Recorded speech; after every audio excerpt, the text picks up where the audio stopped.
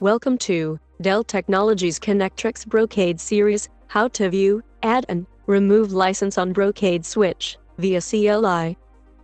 Reference Dell Knowledge Article Number 180246.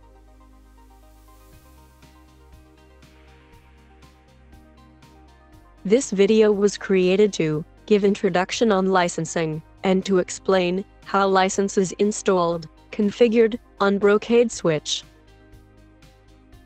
Certain Fabric OS features require licenses to be enabled and are often factory installed and supplied with switch hardware.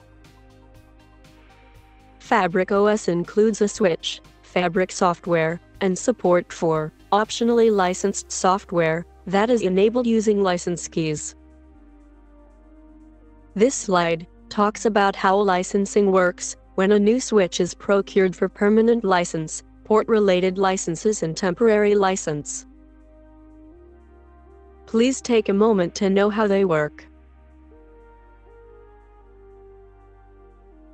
This slide talks about types of license on a Brocade switch. Please take a moment to know what are its types and when are they required. Before you log in, please take a moment to have a look at the licensed lists features. It also lists each feature's associated license name and, if applicable, the location on the local or any connecting switch on which the license must be installed.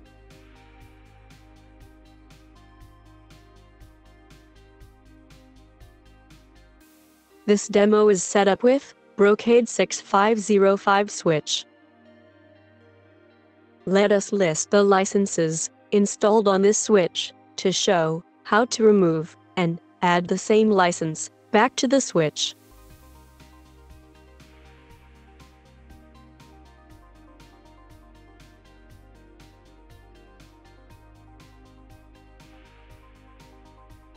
with license remove command, remove an existing license from a switch, or to deactivate the license key.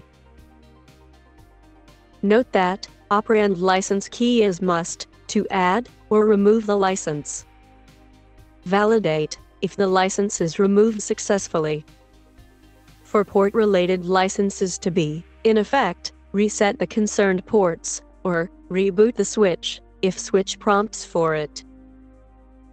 Now, let us add the same license back to the switch. Verify if the license is added back successfully. To display the switch worldwide name, run license ID show.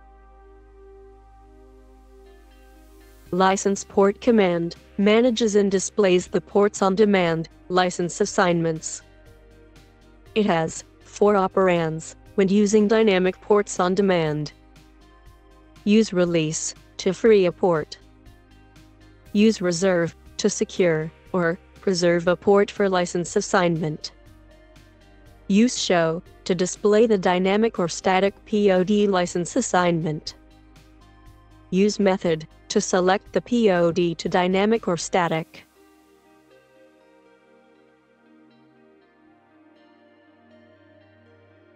License port show is executed now.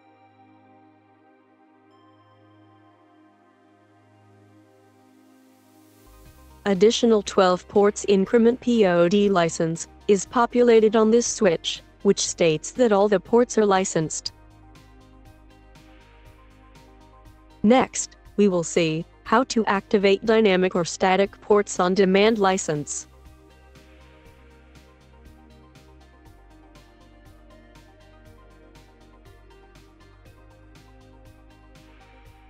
Please reboot the switch for this change to take effect.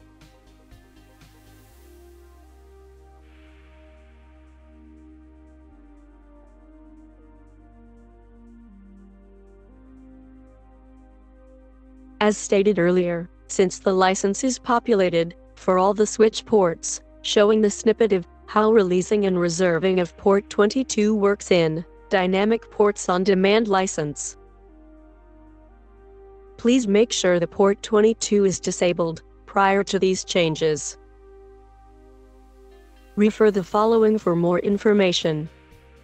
The documents are available on Dell EMC support site.